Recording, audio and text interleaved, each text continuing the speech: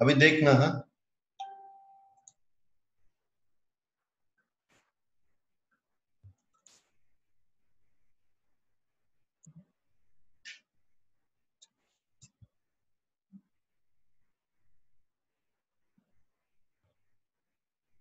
चालू हुआ, देख।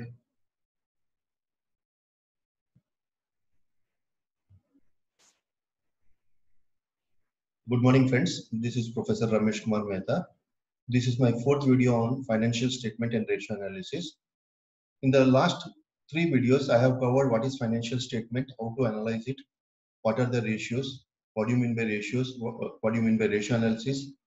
And in those ratio analysis, up to this stage, we have covered uh, liquidity ratio and uh, capital structure ratios. Now, today we are going to see some more set of ratios to understand and analyze the balance sheet and the profit and loss account of the company. Okay. Now,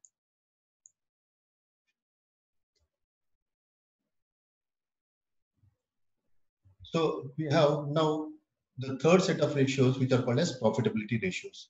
See, fundamentally the company is not only interested in knowing the solvency position of the company, the liquidity position of the company, as well as the most important parameter on which the company um, uh, progress is measured is through the profitability of the company. If the company is able to generate more profits, the company is said to be a very good company. So there are various methods of understanding and uh, analyzing the company under uh, through uh, profitability ratios. Some of the profitability ratios which I am going to study, which we are going to explain it to you are profit margin, gross profit margin, net profit margin, return on investments. Some expenses ratios are also going to be covered. Apart from this, we are going to talk about operating profit margin, operating margin, earnings per share, so on and so forth. Let's start one by one so that we will understand profitability ratios. One of the fundamental things to understand profitability is profitability ratio is please understand profit is also termed as returns, profit is also termed as earnings, profit is also termed as yield. Again, I am going to uh, re, uh, I will I will just re, re, uh, recap what I have said just now. Profit is measured or can be understood in terms of earnings, can be under, understood in terms of returns, and it also can be understood in terms of yield. Okay, so these are all synonyms. Okay, next one. Another fundamental thing or uh, uh, point is all the time profit should be very high then only the company is said to be moving in the right direction next one the first ratio under profit margin ratio is gross profit margin or gross profit percentage.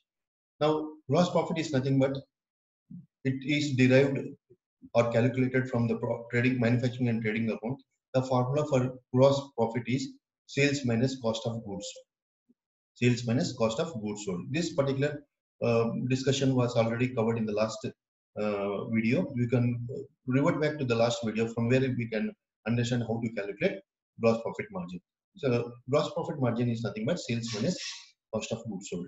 Now, in order to calculate gross profit margin, gross profit margin is calculated by using the formula gross profit by sales into 100. Please remember it's margin, it's percentage. Okay. So if you look at the if you look at the if you look at the the formula. If you look at the formula, uh, if you look at the formula, gross profit margin is gross profit by sales into 100. Gross profit is so gross profit margin is equal to gross profit by sales into 100. Please remember, sales should be high, profit should be high, and the resultant uh, figure also should be high. Again, I'm recovering it gross profit should be high, sales should be high, and the resultant yield should also be high. The gross profit margin should also be high. Next one. Now, another set of ratios are there under net profit uh, um, under net profit margin. Net profit margin is given by the formula net profit by sales into 100. Under net profit margin, we have got some more ratios: operating profit ratio, net profit ratio, and some tax profit ratio, which I'm not going to explain because the most prominent ones are the ones which I'm going to cover. Let's see all this one by one. Now look at this small problem. In this, you will understand what do you mean by uh, net gross profit margin and net profit margin. Now, gross profit margin, gross profit margin, uh, here the, uh, the data given to you is sales is equal to 2 lakh rupees, cost of goods sold is 1 lakh rupees, operating expenses are 50,000 rupees. So let's calculate gross profit margin. Gross profit margin, as I told, it is gross profit by sales into 100. Gross profit by sales into 100. Now, how do you calculate gross profit? So gross profit is equal to sales minus cost of goods sold. So it is 2 lakhs minus 1 lakh is equal to 2 is equal to 1 lakh. So gross profit margin is equal to gross profit by sales on sales into 100. That is 1 lakh by 2 lakhs into 100 is equal to 50 percentage. Now, what does it mean? For every one for for every 100 rupees of your sales, the gross profit is 50 rupees. For every 100 rupees of your sale or the product selling, if the product selling price is 50 rupees, 100 rupees, sorry, the gross profit is 50 rupees. So I consider this to be a very good margin. But still, if you want to, if you want to see that it is increasing, try to increase it to 50%, 60%, 70%, as an as in what is required. Next one is net profit margin. Let's calculate net profit margin. Net profit margin is equal to here in this case you have to or you have to deduct all the expenses incurred for manufacturing and selling the goods.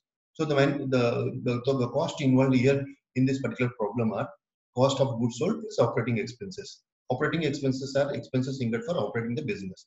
So here in this case, the cost for for manufacturing and selling the goods are 1 lakh plus 5,000, 50,000. It is 1 lakh 50,000. And because of this reason, the net profit is 50,000 because your sales are 2 lakh rupees. So sales is 2 lakh rupees, less total cost is 1 lakh 50,000 rupees your net profit or the final profit is 50,000 rupees.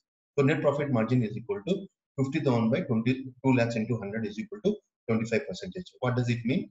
It means that for every 100 rupees of your selling price, if you're selling the product at 100 rupees, you're bound to make a profit of 25 rupees, which is also a reasonably good amount of rupees, good amount. There are some more expenses ratios. I will just um, uh, read out the formulas and if permits we will do some problems also. But these this these are expenses ratios which are required to be known and understood. Now the first uh, expense ratio is cost of goods sold ratio. Cost of goods sold ratio is already understood. It is nothing but the cost incurred for manufacturing the goods by net sales into 100 if it's a so the fundamental rule is the cost should be low the sale should be high and the resultant cost percentage should be less because as I told you in the previous uh, video, that every time your sales should be high and your cost should be low. Next one is operating expenses. To operate the business, there are, there are two types of expenditures which are incurred, office and administration expenses and selling and distribution expenses. So it so operating expenses measures the ratio of administration expenses and selling expenses in your net sales. So it is given by the formula administration expenses plus selling expenses divided by net sales into 100. So the numerator should be low, your administration expenses should be low, your selling expenses should be low, and your selling price or sale should be high, and the resultant should be low because we are talking about operating expenses, expenses incurred for operating the business. So it should be low. Next one is administration expenses. Administration expenses means expenses incurred for administering or taking care of the office and administration part. Some expenses are incurred. So administration expenses are measured in, in, in, the in terms of administration expenses by net sales into 100 so administration expenses are considered to should be low and sales should be high and the resultant percentage of administration expenses as a percentage of net sales net sales should be low next one is selling expenses ratio selling expenses ratio is selling expenses by net sales 100 net sales into 100 so your selling expenses are cost and the cost should be low, sales should be high, and the resultant selling expenses as a part of your sale should be low. Next one is operating expense, operating ratio.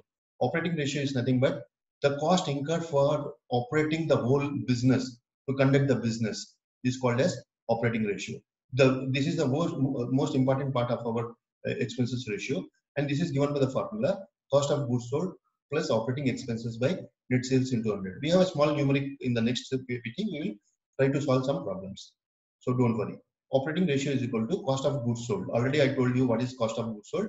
It is nothing but sales minus gross profit.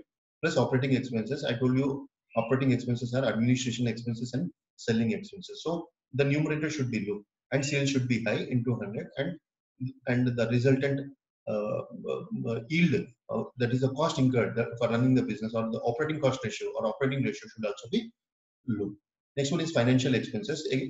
There are some expenses incurred for uh, in terms of finan financial expenses like interest on loan taken, uh, loan processing fees, etc., uh, etc. So these expenses also are to be recovered from recovered from our selling price or from sales. So these expenses should be low. And the ratio for financial expenses ratio are financial expenses by net sales in 100. So financial expenses should be low, our selling price should be high, and the relative cost should be low. So financial expenses ratio should be always low. Next one. Now we'll do a problem on gross profit margin. So I have uh, I, I, have highlighted some of the uh, uh, some of the items in this particular PPT. If you look carefully, sales is uh, three and a half lakhs, and my gross profit is one lakh twenty six thousand. So if, if I am calculating gross profit margin, then the formula is gross profit by sales into 100. So here the gross profit is 1 lakh 26,000 and the sales are to the extent of to the tune of 3 lakh 50,000 rupees.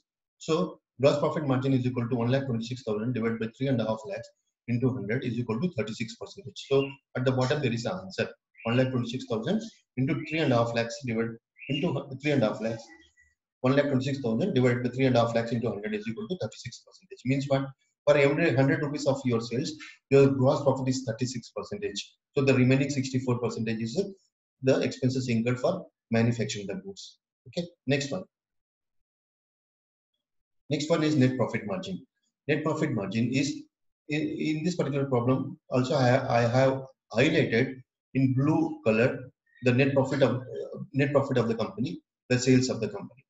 If you look at the bottom, the net profit of the company is 77,000 rupees and the sales are to the tune of 3.5 lakh rupees. So net profit margin is 77,000 divided by 3.5 lakhs, 3.5 lakhs into 100 is equal to 22 percentage. So, so what does it mean? For every 100 rupees of your sales, if your selling price is, to, uh, is uh, 100 rupees, in that selling price of 100 rupees, you're on the selling price of 100 rupees, your cost is 78 rupees and your profit is 22 rupees. So 22 rupees your profit, 78 rupees is your cost, and selling price is 100 rupees. So 22 percentage, to my knowledge, to my understanding, to my in my experience, whatever I have seen, is a nominally good, reasonable uh, net profit margin. Still, the company can take uh, try uh, take uh, uh, efforts to reduce the cost, and then they can improve the margin. Next one. Now let's talk about operating profit ratio operating profit margin. This is also very, very important in stock markets, in capital markets, whenever the companies are announcing their quarterly results or annual results or half yearly results, they they they they compare uh, operating profit from intrafirm uh, uh, uh, within interfirm uh, within interfirm comparison is done, and as well as they are they are um, comparing uh, last year's last quarters or last year's operating profit margin. Now, what do you mean by operating profit margin? Let's see how to calculate it. So you got a data in front of you. Sales are again three and a half lakhs. I'm just repeating the uh, the numeric so that you will be in a comfortable position. Now, operating profit is we'll calculate. So sales is given as three and a half lakh rupees. Now, the formula for operating profit ratio is net profit plus non-operating expenses minus net uh, minus uh, sorry I have repeated net profit, you can uh, discard it, plus non-operating incomes. So operating profit is given by the formula net profit plus non-operating expenses plus non-operating incomes. Now you can ask me, sir, what is non-operating expenses? Non-operating expenses, see, for doing business, raw material is required. Then only you can start uh, start manufacturing and you can sell the goods after you manufacture.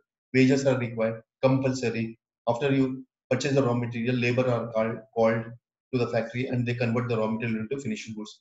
Factory expenses are incurred because you, once you get the raw material, once the labor is coming, you have to have a factory where you have to run the factory.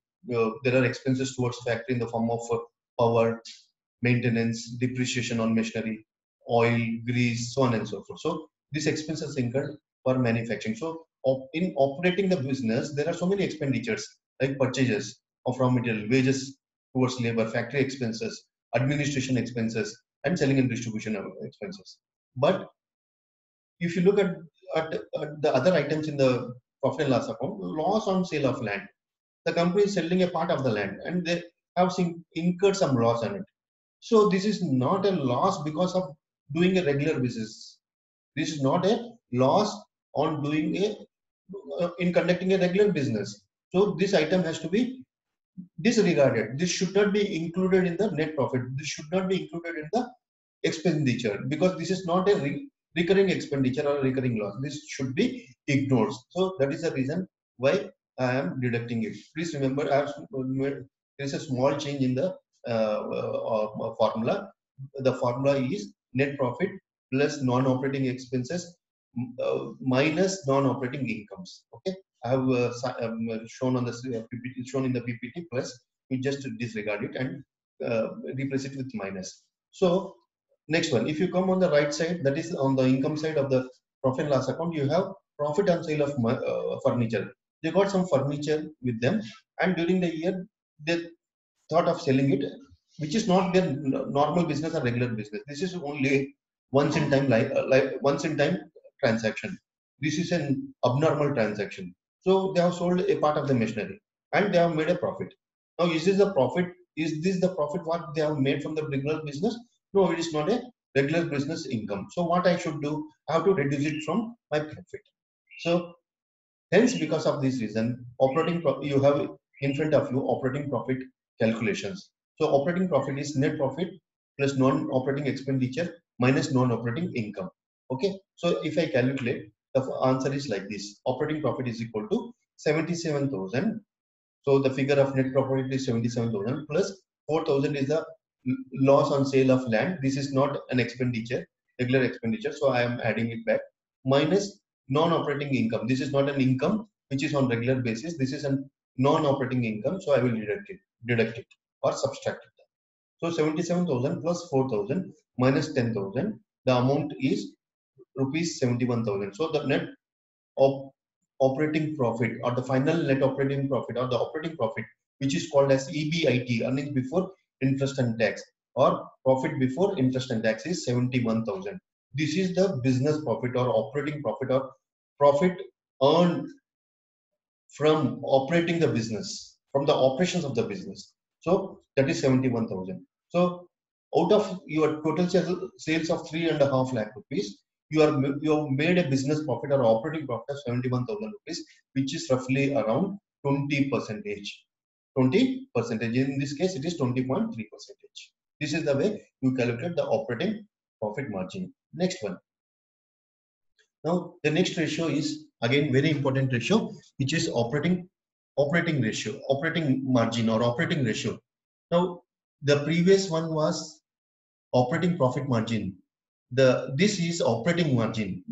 What do you mean by operating margin? Operating margin is the total expenditure incurred for manufacturing a particular commodity or the total cost incurred for manufacturing goods. So what should be considered? So all the expenses which are incurred like raw material cost, labor cost, factory overheads, operating over uh, office and administration overheads, selling and distribution overheads, which are incurred for manufacturing and selling the goods, have to be incurred have to be uh, considered for finding out what is the total cost incurred for for uh, for operating the business. So i'm repeating what are the expenses to be included to arrive at the operating cost? So it will be the first first is the raw material cost the second one is the wage cost or the labor cost the third one is factory overheads or factory expenses all the expenses incurred in the factory next one is uh, uh, office overheads the, uh, the second set is uh, administration overheads. The next one is selling overheads, and the final one is distribution overheads. So all these expenses have to be considered for finding out operating ratio because all these costs are incurred for manufacturing the final product before it is sold. So operating profit ratio is given by the formula cost of goods sold plus operating expenses by sales into 100. Already I was shown in the previous uh, previous PPT that operating ratio is equal to cost of goods sold plus operating expenses by sales into 100 because cost of goods sold is one cost and operating expenditure is another set of costs. By this, we have included in the in cost of goods sold raw material cost, wage cost and factory overheads. And in operating expenses, we have covered or added administration and selling and distribution overheads. Okay, by sales into 100. Now, how do you find out cost of goods sold? Already I told you it is sales minus gross profit. Now, already we have calculated. So calculations are in front of you as far as sales of goods, cost of uh, goods are uh, cost of goods sold is considered. So cost of goods sold is equal to sales minus gross profit. Sale is three and a half lakh rupees as shown in the PPT and gross profit is one lakh twenty six thousand. So the cost of goods sold is two lakh twenty four thousand. Now let's calculate operating expenses. Operating expenses include two items: administration expenses and selling and distribution expenses. In the given PPT, administration expenses are uh, are forty five thousand and the selling and distribution uh, overheads are ten thousand. So if you submit, it is 55,000 rupees. So now let's calculate operating ratio or operating expenses ratio or operating cost ratio. Now operating cost ratio is equal to cost of goods sold plus operating expenses by sales sales into 100. That is equal to 2,24,000 plus 55,000 is equal to 2,75,000 divided by three and a half lakhs. That is the sales into 100. It is 80 percentage or 79.7 percent, percentage. Another way of calculation of a uh, profit margin, profit uh, operating profit, uh, operating cost margin or operating margin is equal to 1 minus operating profit margin. If you look in the previous slide, it is 20 point, uh, operating profit margin is 20.3 percentage. So from 1, if I remove 20.3 percentage, that is 79.7 percentage is the operating profit margin, operating cost margin, sorry. So if you want to find out operating profit margin, you have to, you can do this calculation this for, uh, this format can be followed or these steps can be followed. Another way is after you calculating after you have calculated operating profit margin, in order to find out operating cost margin, just from one one you deduct operating profit margin. So 1 minus 20.3 is equal to 79.7. So you get the same answer. So this is about operating profit, operating cost margin.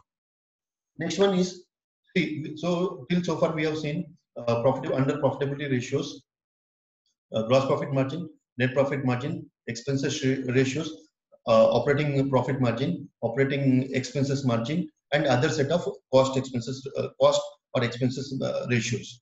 Now, there are some more uh, profitability uh, ratios. The most important one is return on investments and return on capital employed.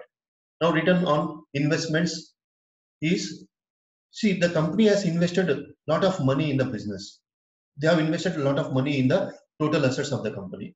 So how what is the rate of return you are getting from the total assets of the company is very, very essential. For example, I have considered three banks. I have one I have three lakh rupees with me. In one bank, I am going to invest one lakh rupees. In the other bank, I am going to invest in fixed deposit one lakh rupees, and the third bank I am going to invest one lakh rupees in the fixed deposit. If the first company, first bank is giving eight percent rate of return, the second company is going to give me 6% rate of return and the third company is bank is going to give me 10% rate of return let's calculate the, the ratio that is return on my fixed deposit so in the first case i'm earning 8000 rupees in the second case i'm earning 6000 rupees. In the third case it is 10000 rupees annually. So 8 plus 6 plus 10 is 24000 so on 3 lakh rupees i am earning 24000 rupees which is 8 percentage. So the return from my fixed deposit or from my investment uh, is 8 percentage. The same way, if anybody is doing business, they are interested in, interested in calculating and analyzing what is the return on total assets, what is the return on capital employed, what is the return on investment, or what is the return on equity, so on and so forth. So, return on investments, there are various forms of calculation. The first one is return on assets. Now, what do you mean by assets? If you look on the balance sheet of the company, right side, you have total assets. Means you have you have this many amount this much amount of assets the uh, assets are some 50 crore rupees example on this 50 crores what is the return you are getting you are invested you are invested your money in 50 lakh rupees so that is on on procurement of your fixed assets now the fixed assets are invested you are investing money in fixed assets how effectively they are uh, utilized how productively productively productively they are utilized and what is the return they are giving at the end of the year and throughout the lifespan of the particular asset. So return on assets is equal to earnings after tax plus interest minus tax advantage on interest by average total assets. So I will give a small example. I have in, my company XYZ Limited has invested 50 lakh rupees in in on the total assets, and I have used these two assets for producing goods, and I have sold them. After I sell the finished product, finished goods, I will try to find out what is my net profit, and assuming my net profit is 5 lakh rupees. So return on total assets is equal to profit by total assets. My profit is 5 lakh rupees and my investments in the total assets are 50 lakh rupees. So 5 lakhs by 50 lakhs is 10 percentage. Is it good? I, to my knowledge, it's uh, only plus 2 percentage over and above the bank rate of in, uh, interest, bank, bank rate of interest. So the company has to take efforts to improve the return on assets. Similarly, one another way of calculating return on investments are return on capital employed.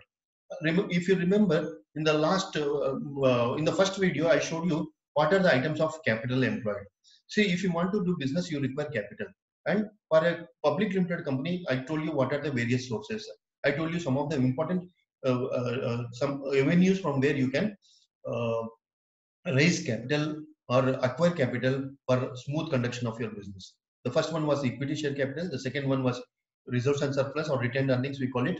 The fourth one, the third one is preferential capital. The fourth one is debt capital and many other items. So capital employed is given by the formula equity share capital plus reserves and surplus plus debt capital. So whatever funds were required, whatever uh, capital is required, you got it from various sources and you have invested in the business. Now everybody is interested in knowing what has happened, what is the return I am getting it on the total capital, what I have employed in the business.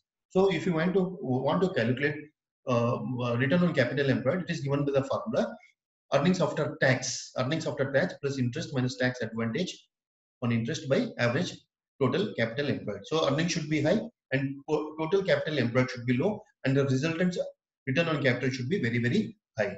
Next one. So on the similar lines, uh, I have show, uh, I have some two more uh, ratios on uh, return on equity. I will just ask you to read out, read out and analyze on your way, uh, on your, your own way, as I just now uh, made, you understand what is the return on total capital employed and return on total assets. In the same on the similar lines, you can uh, understand return on total shareholders equity and return on ordinary shareholders equity. Now, uh, some more uh, ratios under uh, uh, efficiency ratio. We are now going to talk about efficiency ratios.